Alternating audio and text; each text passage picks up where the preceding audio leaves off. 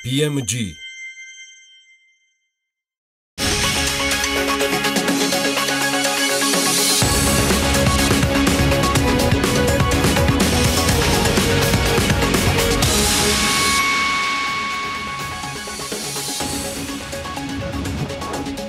შინაგან საქმეთა სამინისტრომ ბიზნესმენის მკვლელობა გახსნა. დეტალებს გაიგებთ ჩვენგან. ინოვაციების და ტექნოლოგიების სააგენტოსა და ტექნოპარკის ფაბლაბის ორგანიზებით გამოფენა გაყიდვა გამართება. რა მოლოდინები უნდა გქონდეს? გავიგებთ სტუმრისგან სულ ცოტა ხანში. მოდა და ტექნოლოგიები სიუჟეტი ამერიკიდან, რომელიც ჩვენთვის სპეციალურად ამერიკის ხმამ მოამზადა. TV პირველზე თქვენ უყურებთ ანალიტიკას.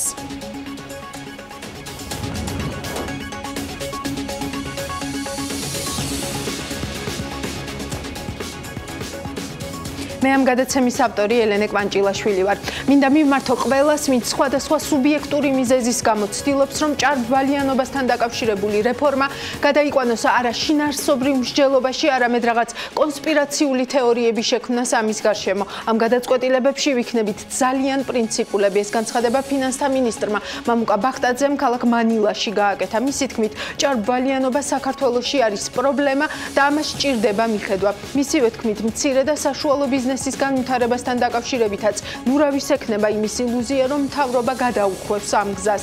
მცირე და საშუალო ბიზნესის განვითარება არის ერთადერთი საშუალება საქართველოსში მივაქციოთ ეგრეთ წოდებულ ინკლუზიურ ზრდას, ანუ ზრდას, რომელიც შეეხება თითოეულ მოქალაქეს. ეკონომიკური ზრდის მაჩვენებელი მარტში ძალიან კარგი იყო, მაგრამ ამავე დროს უნდა ვუყუროთ ხარისხობრივ ზრდას, რომელიც ყველა მოქალაქეს შეეხება. ამ თვალსაზრისითაც ჩვენ ფინანსურ სექტორთან ერთად გვექნება ახალი თამაშის წესები პროცესები, სადაც ჩვენი მცირე მეწარმეები შეძლებენ ისეთი ტიპის მხარდაჭერის მიღებას, რომელიც დადებითად იმოქმედებს მათ ბიზნესზე, აღნიშნა ბახტაძე.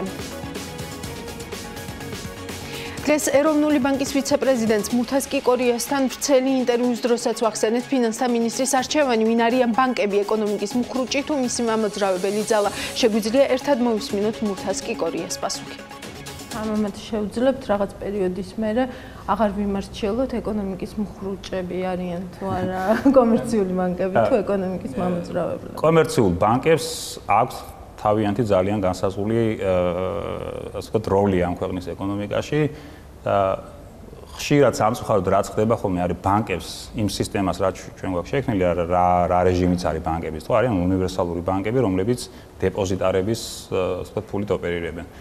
ამ სექტორს ანუ მოლოდინი რა უნდა შექმნას? მოვთხოვოთ ისეთი რაღაცა რომელიც ამას უბრალოდ ბუნებრივად არ შეუძლია რა. ბანკებს მოვთხოვოთ კაპიტალი. როცა მეორე მხრივ ბანკებს არაპროფილური ასე ვთქვათ საქმიანობის გამო მივიღეთ ეს გადაწყვეტილებები ბანკები არ უნდა შევიდნენ კომპანიების ასე ვთქვათ კაპიტალში და წილებში. ხო ანუ ეს არ არის ამ სექტორის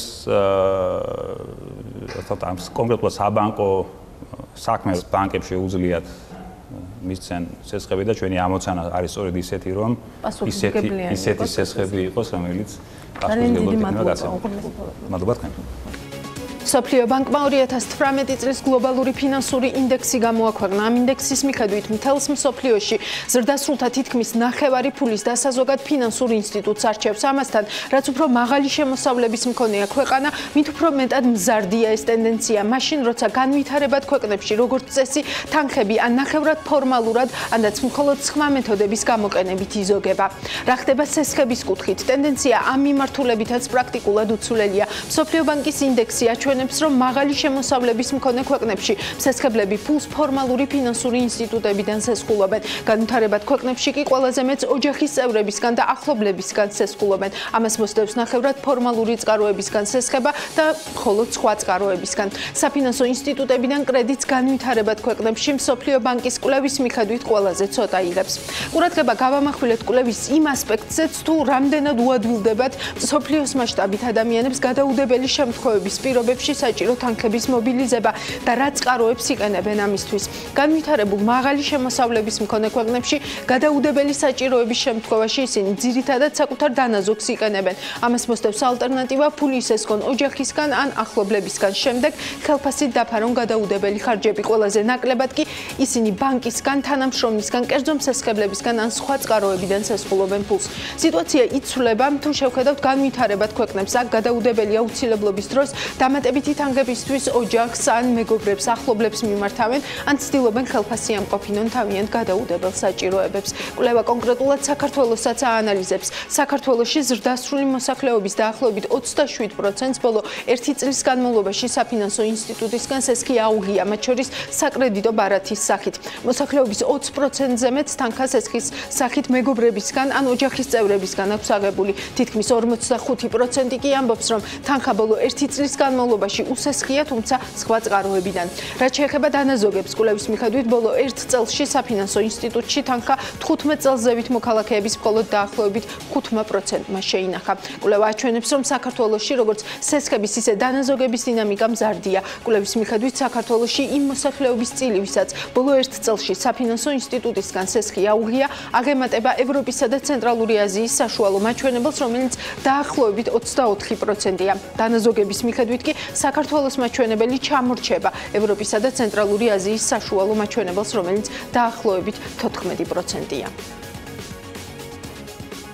ექვსი მომხრე სამი მოწინააღმდეგე ორმაც თავი შეიკავა. ასეთი შედეგით დასრულდა სადაზღვევო ასოციაციის გამგეობის ხდომა რომელიც კომპანია უნისონის ინიციატივით გამართა კომპანიის მეორე მცდელობა დაერწმუნებინა კოლეგები რომ ბანკებისა და მათთან დაკავშირებული სადაზღვევო კომპანიების მხრიდან სექტორს პრობლემები ექმნება ამჯერად წარმატებული აღმოჩნდა. შეგახსენებთ რომ დაახლოებით ერთი თვის წინ ამავე თემაზე შეკრებულმა სადაზღვევო კომპანიებმა უნისონის წინადადება არ გაიზიარეს. კომპანიის ხელმძღვანელი შედეგით კმაყოფილია და ამბობს რომ წინააღმდეგობის მიუხედავად ასოციაციაში მისი არსებობის 25 წლის მანძილზე ყველაზე მნიშვნელოვანი გადაწყვეტილება მიიღეს.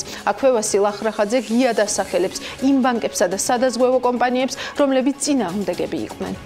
მიუხედავად დიდი წინააღმდეგობის გაწევისა, რომელიც გაგვიწია საქართველოს ბანკთან და TBC ბანკთან დაკავშირებულმა სადაზღვევო კომპანიებმა, და შევჯერდით იმაზე, რომ მიმართოთ საქართველოს პარლამენტს და ეროვნულ ბანკს, რათა დაიწყოს დაუყოვნებლივი კონკურენციის შესახებ კანონის ამოქმედება საბანკო სექტორში. რა ნაბიჯები უნდა გადადგას ახლა სადაზღვევო ასოციაციამ დებიქა ჩენაშვილი ამბობს რომ უპირველეს ყოვლისა უნდა გაერკვნენ. აქვს თუ არა ეროვნულ ბანკს კანონით მინიჭებული უფლება იმ მსჯელოს და გადაწყვეტილებები მიიღოს კონკურენციასთან დაკავშირებულ საკითხებზე.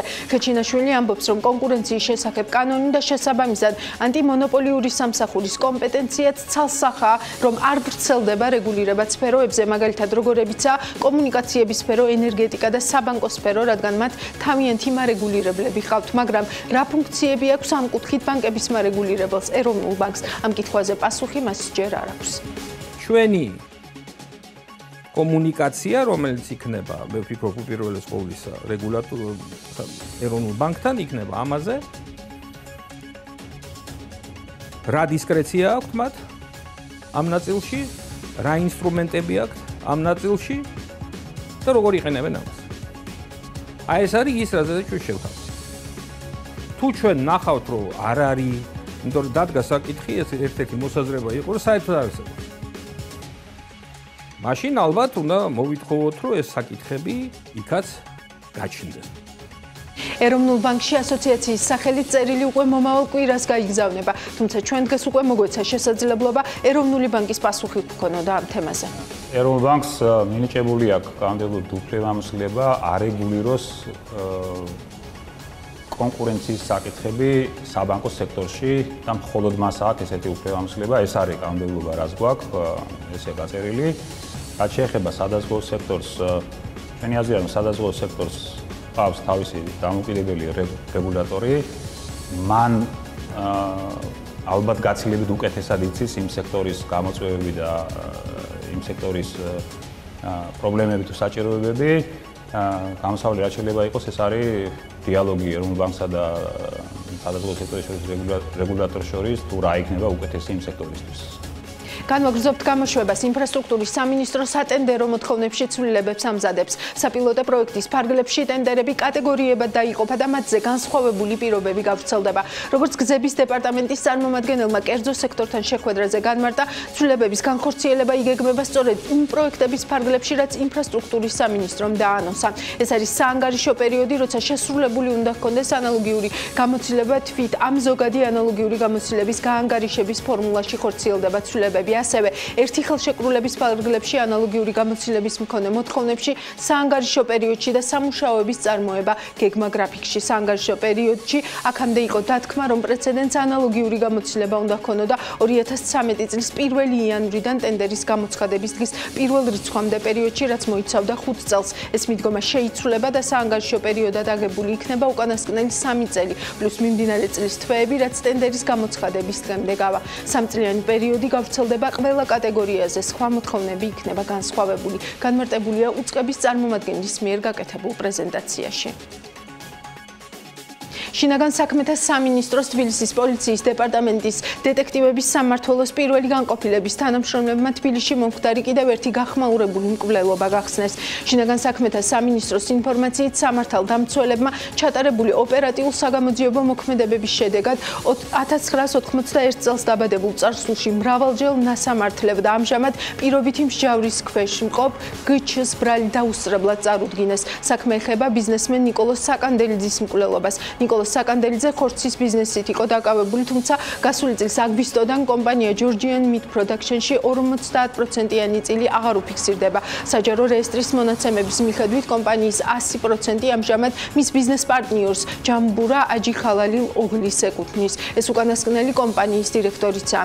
თუმცა საკანდელიძეზე რჩება გაფორმებული მცირე 5%-იანი წილი შეპესე Fresh Meat Industries-ში, სადაც ჯამბურა აჯიხალი ოღლის პარტნიორად რჩება. ამ უკანასკნელის გარდა და კომპანიის 20% ნუგზარ აჯიხალილ ოღლის, ხოლო 50% ვახტანგ ნიკოლეიშვილს ეკუთვნის. გარდა Fresh Meat Industries-ის საკანძელიზის სახელზეა ასევე წილი 2006 წელს დაფუძნებულ შეპესე ლუკაში 18.7%. ამავე ოდენობის წილის მფლობელია კახაბერ წიბწივაძე 62.9%-იან პროცენტიან წილს კი ზაზა აფხაიძე ფლობს. შინაგან საქმეთა სამინისტროს ინფორმაციით გჩს მიერ ჩადენილი დანაშაული 7-დან 15 წლამდე ვადი თავისუფლების ახ აღკვეთას ითვალისწინებს სასამართლო ბრალდებულს აღკვეთის გონისძიების საკით პატიმრობა შეუფარდა. შინაგან საქმეთა სამინისტრომ გჩ-ზე ძებნაც გამოაცხადა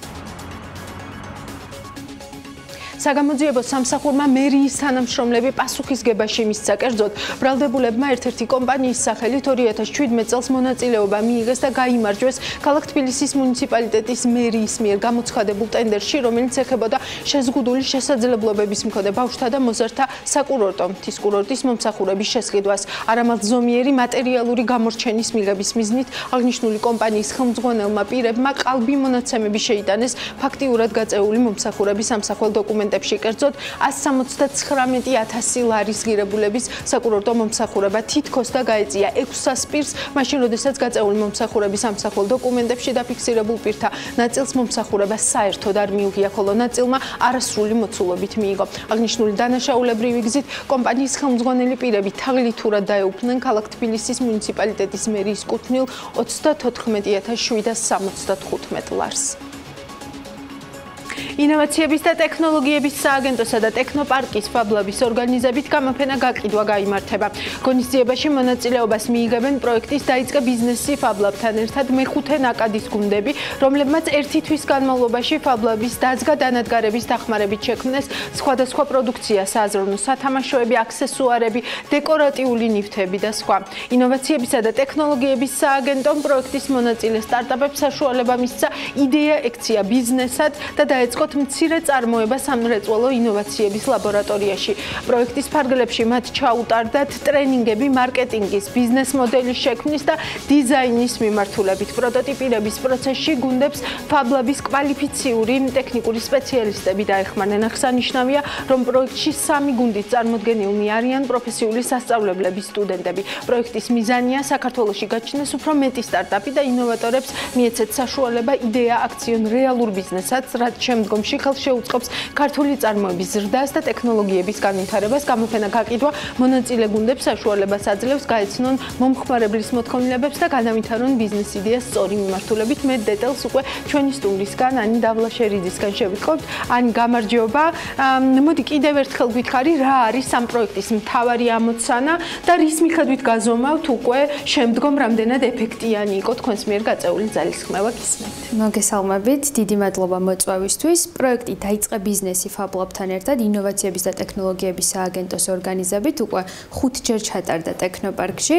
პროექტის მიზანია, რომ გაჩნდეს უფრო მეტი სტარტაპი და მოქალაქეებს მიეცეთ საშუალება, რომ მათი იდეა აქციონ რეალურ ბიზნესად. ჩვენი მთავარი მიზანი არის, რომ სტარტაპერებს და მცირე მეწარმეებს შეუწყოთ ხელი დავეხმაროთ და მივცეთ წვდომა იმ თანამედროვე დანადგარებთან, რომლებიც არის ჩვენ ფაბლაბში განთავსებული და საბოლოოდ ზუსტად როგორც აღნიშნეთ, უკვე გამოფენა გაყიდვაზე ისინი დატესტავენ საკუთარ პროდუქტებს და გააცნობენ მას მომხმარებლებს. და რა მოლოდინი გაქვთ თვითონ ამ გამოფენა გაყიდვის გაყიდვასთან დაკავშირებით, ანუ ვინ ვინ იქნება, ესე ვთქვათ, მონაწილე და ვინ შეიძლება დაინტერესდეს აი ამ ახალი ტექნოლოგიებით? დიახ, მონაწილეები არიან მრავალფეროვანი, ანუ ყავს სტარტაპები, რომლებიც მუშაობენ სხვადასხვა ლოგიკურ სათამაშოებზე, ისინი ლაზერული მჭრელზე და პროგრამირება ჩარხზე ჭრიან სხვადასხვა ლოგიკურ სათამაშოებს. ეს სათამაშოები ეხმარება მაგალითად ბავშვებს შეისწავლონ ქართული და ინგლისური ამბანი უფრო მარტივად. ასევე მონაწილეები ამზადებენ სხვადასხვა აქსესუარებს, დეკორატიულ ნივთებს. ჩემი აზრით, ყველა ადამიანი დაინტერესებული მოქალაქე უნდა მოვიდეს ამ გამოფენა გაყიდვაზე, რათა ხელი შეუწყოს უკვე დამწყებ ბიზნესებს და მიიღონ ასე ვთქვათ, მონაწილეობა მათი განვითარების პროცესში. შეიძლება დაინტერესდნენ ასევე ადამიანები, რომლებიც სამომავლოდ უკვე ინვესტიციასაც გააკეთებენ ამ სტარტაპებში და ასე შემდეგ. ანუ შეიძლება ამ ადამიანებმა იპოვონ უკვე ინვესტორები, რომლებიც ფულს ჩადებენ მათ წამოწყებაში. ანუ ესეც არის ერთ-ერთი მიზანი, ასე ვთქვათ, ამ გამოფენა გაყიდვის. დიახ, რა თქმა უნდა, ანუ სავაჭრო ცენტრი თბილისი მოლში გამართება ეს გამოფენა გაყიდვა და მონაწილეებს ექნებათ საშუალება ძალიან დიდ აუდიტორიას გააცნო თავიანთი ნამუშევრები, იმიტომ რომ დიდი არის მიმოსვლა იქ ადამიანების დღის განმავლობაში, თან კვირა დღე არის.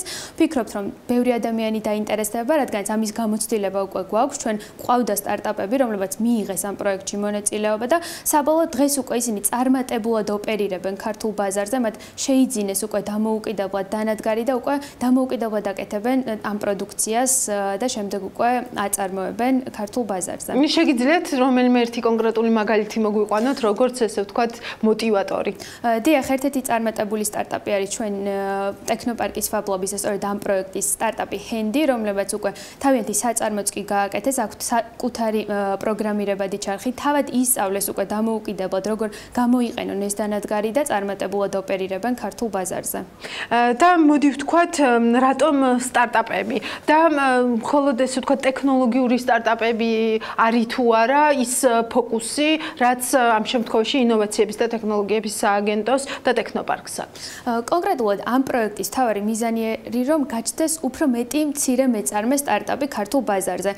ჩვენი მთავარი მოთხოვნა და მთავარი კრიტერიუმი კრიტერიუმი იყო რომ პროექტი ყოფილიყო ინოვაციური.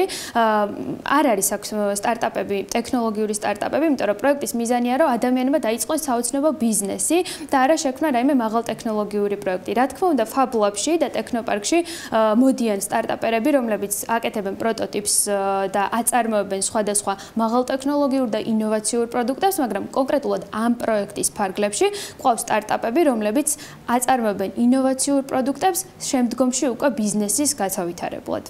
და აქტივობა როგორია? ანუ რამდენად ადვილი არის ამ იდეებიდან, ესე ვთქვათ, ამორჩევა? აი ამ ამას თუ გვეტყვით, ანუ რამდენი იდეა შემოდის და აქედან ესე ვთქვათ, საბოლოო ჯამში რამდენი რჩება?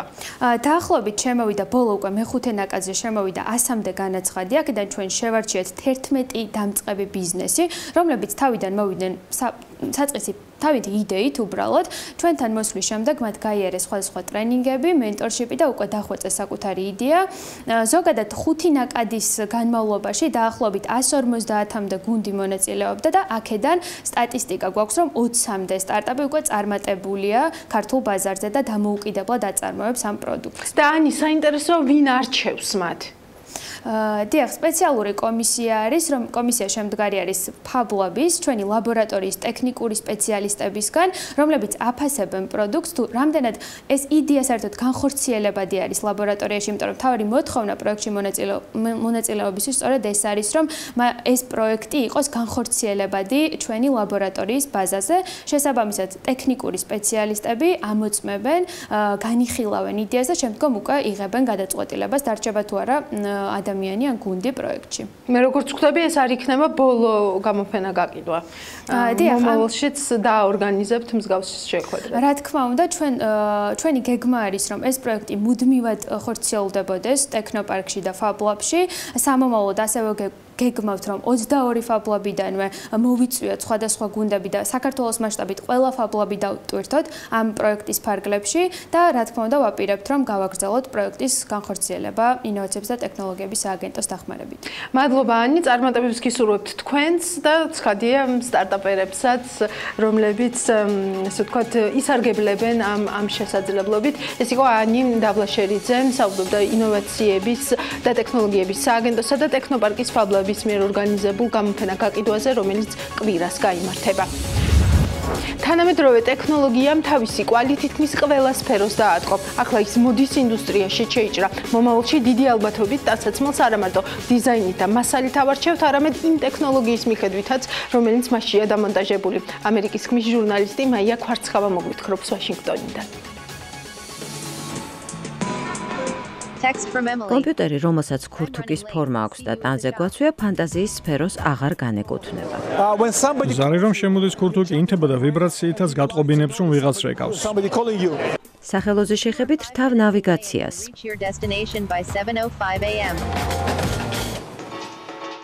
ან მუსიკას. კავშირი მყარდება ტელეფონს, ყურსასმენს და ქურთუკის სახელოზე დამაგრებულ აპარატს შორის. პროექტი Google-ის და Levi Strauss-ის თანამშრომლობით განხორციელდა. ტექნოლოგია ჯინსის ქსოვილში შეუმჩნევლადაა დამონტაჟებული და პრაქტიკული ჩანს. ტელეფონს ისე ხმარობ, რომ გზისთვის თვალის მოცილება არ გიწევს. რეცხვით ტექნოლოგია არ ზიანდება. ძალიან გამძლე ბოჭკოვანი ზაფითაა მოქსოვილი, რომელიც ჯინსის ქსოვილს ბუნებრივად ერწყმის. პლატფორმის დიზაინის საშუალებას იძლევა ტექნოლოგია არა მარტო ჯინსში, არამედ სხვა ქსოვილისგან შეკერილ ტანსაცმელშიც გამოვიყენოთ. ახალი ტექნოლოგიები წარმოდგენილია ისეთ ქსოვილებში, რომელთა შორისაა ბიოინჟინერიის საშუალებით შექმნილი შალი, აბრეშუმი და ტყავი. ეს მასალა ერთდროულად ბუნებრივიცაა და ხელოვნურიც. So we're really bringing both of those ორი მეთოდის შერწყმით ჩვენ რევოლუციურ ქსოვილებს ვქმნით. ვიღებთ საუკეთესოს, რაც არის დიზაინში და ინჟინერიაში. ტექნოლოგია დიზაინერებს აქამდე არარსებული სტრუქტურის ქსოვილების შექმნის საშუალებას აძლევს. დიზაინერებისთვის სრულიად ახალი შესაძლებლობები გაჩნდა. ჩვენ შეგვიძლია კომპიუტერული ტექნოლოგიებით სრულიად ახალი ტიპის ქსოვა, ნახატი და ფორმატი შევქმნათ. ახლა დიზაინში ურთულესი მათემატიკური და ტექნიკური ალგორითმები ერთვება. დიზაინერებს დღეს როგორც არასდროს ტექნოლოგიების მეტად ფლობა მოეთხოვებათ. ყველაფერთან ერთად მოდის მიმართულებებიც იცვლება. სოციალური მედიის დომინირების პირობებში დღევანდელ მოდას მარტო ცნობილი დიზაინერები აღარ განსაზღვრავენ. მოდის დემოკრატიზაცია ხდება. ისეთი რამ შემოდის ხოლმე მოდაში, რასაც პროფესიონალი დიზაინერი არც შეხებია. მარკეტინგი და წარმატებული გაყიდვა ხომ უმეტესად ტექნოლოგიებზეა დამოკიდებული. ნახველი ვებგვერდზე ერთხელ მაინც თუ შევიდა, სხვა პროდუქტების მარკეტინგი მის პირად სურვილს, გემოვნებას და საჭიროებას ერგება. ბრენდთან ერთხელ შეხებისთანავე გიჩნდება გრძნობა, რომ ისინი გიცნობენ, ვინ ხარ, რა მოგწონს, რა გინდა. კომპიუტერიზებული ტანსაცმელი მომავლის ტექნოლოგია აღარ არის, უკვე გაყიდვაშია. ლევის Google-ის ქურთუკი მაგალითად 350 დოლარი ღირს. დღეს ამით უნდა დავასრულოთ. შემდეგ პარასკევს შევხვდებით ერთმანეთს და ისევ შეგიგროვებთ ყველაფერს, რასაც გავლენა აქვს ბიზნეს გარემოზე. დროებით.